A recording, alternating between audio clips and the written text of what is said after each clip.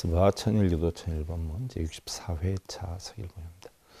지난 시간에는요. 부처님을 찬탄하는 거불과 공양의 소청을 받아 줍사 부탁하는 보소청 진원 또 공양을 올리게 된 이유의 유치에 대해 살펴보았는데 오늘은 여러분들 법요집 390페이지 지난 시간에 다 하지 못한 유치와 또 초청 대상에 대해 말씀드리는 청사에 대해 살펴보는데요.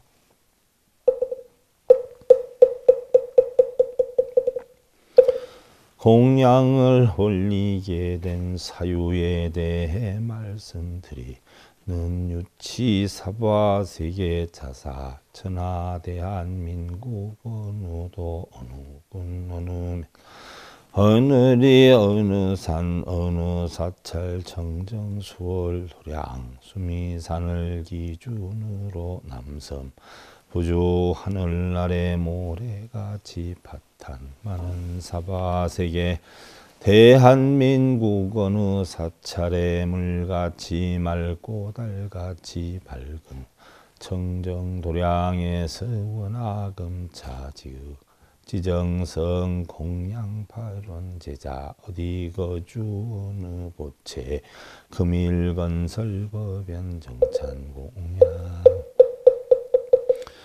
어디 거주 어느 보채가 지극정성 공양을 올리옵고 몸과 마음 닦아 깨달음의 공 덕을 이루고자 금일 법문의 자리 마련하고 맑고 깨끗하고 청정한 음식을 올리고자 하오 제망 종종 무진 삼보자존 훈군작법 망기 묘원자 우보기설명양이 해청 제석천의 그물같이 넓고 크게 한량 없이 자비록 존경스런 부처님께서 은근하고 향기로운 법무 으로 저희들이 우러러 다짐하여 실천할 수 있도록 이끌어 주시기를 부족하나마 예를 다하여 청하오면. 정옥립 미수제 제체 수미 건성가민 기회.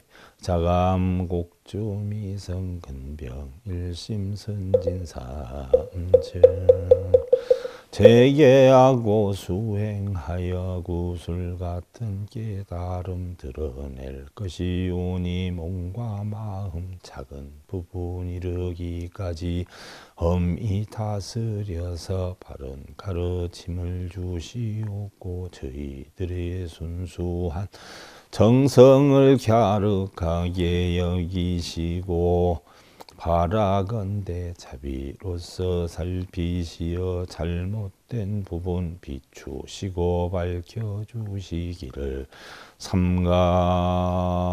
삼가일심으로 정례하며 이 자리에 광림하여 주시옵 기를 세 번 거듭 청하옵니다.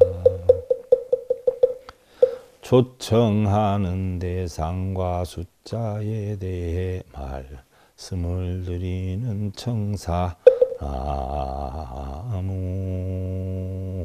일심 봉청. 나무 일심 봉청. 나무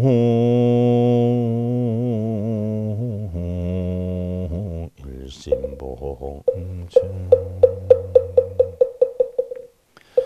이대자비 위체고고 중생이 위자량 허제병고 위장량의 어실 도자식이 정로 함야중 위작 광명어빈 공자영득 복장 평등요의 일체 중생 가르침에 귀하오며 지극정성한 마음으로 받들어 정하오 난이 대자 대비 본체 사막 깨달음의 중생 구제 병든 이에게 의진 의약되어 주고 길 잃은 이에게 바른 길 인도하이며 어두운 곳에서 밝은 빛이 되어 주시고 빈 공한 자에게 영원한 깨달음 얻게